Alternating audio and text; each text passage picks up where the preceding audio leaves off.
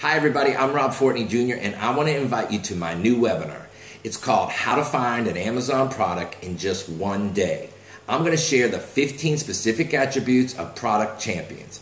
On this webinar, you're going to discover every answer potential Amazon sellers need to know about finding a product. I'm going to show you how to search for specific attributes and characteristics of product champions.